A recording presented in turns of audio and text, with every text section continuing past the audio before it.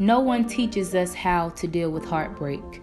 Age 17 was too young to be in love anyway, but I felt every bit of hurt and pain.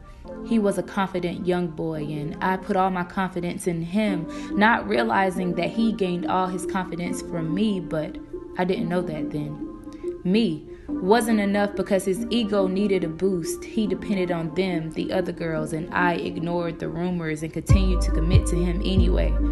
You see, no one teaches us girls how to live our lives without losing our minds or losing our souls for men who too are unsure of themselves. We've only been taught devotion to the point we don't know how to let go, and heartbreak forces us to release. And once we realize the beauty in it all, that heartbreak is really an opportunity to rediscover ourselves.